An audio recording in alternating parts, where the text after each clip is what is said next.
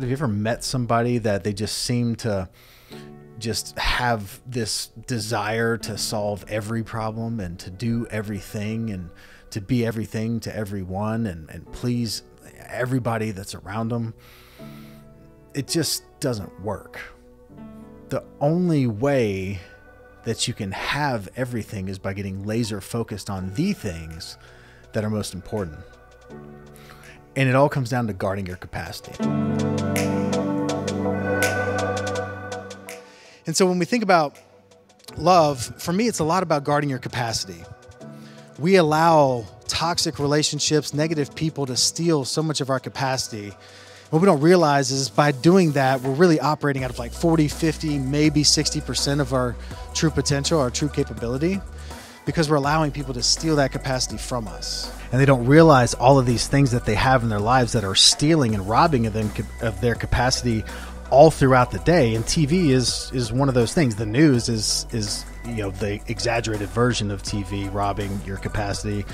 But those little 5 minute 10 minute here 20 minutes here as you calculate and add that stuff up in a day you realize that you know we only have so much time in the day. And I just made this hard decision that I was going to focus as much time as I possibly could on bettering myself.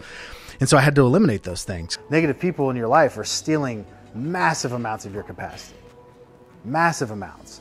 I got to the point in my life where when someone started getting negative on the phone, I would just say, hey, hey, I got another call. I'll call you back later. And I would just hang up and never call them back. Ever. And I lost a lot of relationships from that. But I gained so much capacity because those people, that negative stuff, allowing that stuff in, just, it's robbing you of the life that you ultimately want. But the reality is, you know, when you're doing this for your mom, and every time you talk to your you know your sister she's complaining about this. Every time you're you know with this person they're you know super negative when you're doing this. These things are all just like pulling and robbing and stealing capacity away from you.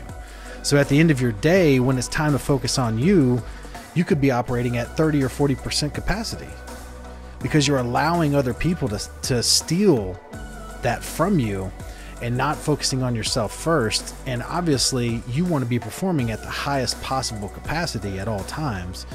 It's like it becomes life and death to you. And that's the way I look at it. It's like if I allow a negative person any amount of time around me, they are literally like stealing, just ruining, destroying opportunity for me to do what I'm supposed to do because they're taking away that capacity.